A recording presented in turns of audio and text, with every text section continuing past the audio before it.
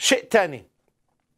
كل الأديان مؤسسة على تعليم لكن ما عندها المرجعية من مخطوطات وكتابات قديمة اللي بتسند رأيها وبتسند كتاباتها. مثلا آه، يعني أي ديانة أخرى بتتحدى بتقول له أعطيني المخطوطة القديمة.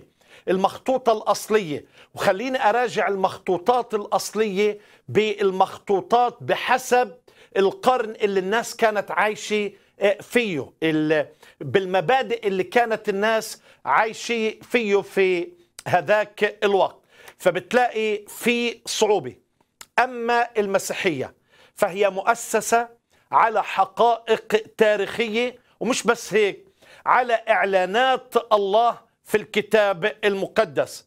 طبعا الكتاب المقدس بصير بصير بتسلسل وتناسق وتناغم تام وانسجام كامل. فالكتاب المقدس من العهد القديم إلى العهد الجديد هي رسالة واحدة في تسلسل حتى في الظروف التاريخية مع أنه أكثر من أربعين كاتب بوحي من الروح القدس. على عصور وأزمان وأوقات مختلفة في قارات مختلفة على مدار 1600 سنة.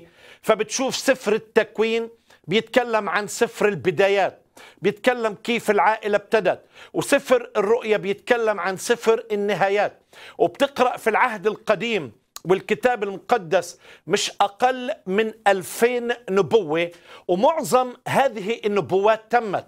يعني لدرجة تتخيل إنه الأنبياء عم بيتنبأوا وكأنه الأحداث عم بتصير أمامهم.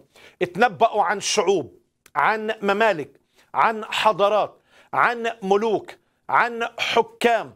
اتنبأوا عن المستقبل اتنبأوا عن مجيء المسيح والعجيب إنه هذه النبوات تمت بحذافيرها بتتميم كامل فهذا إن دل على شيء الله هو إله حي هو إله التاريخ وانه كل التاريخ بيتمحور حول أهم موضوع هو موضوع الفداء حول أهم شخصية هي شخصية الرب يسوع المسيح له كل المجد.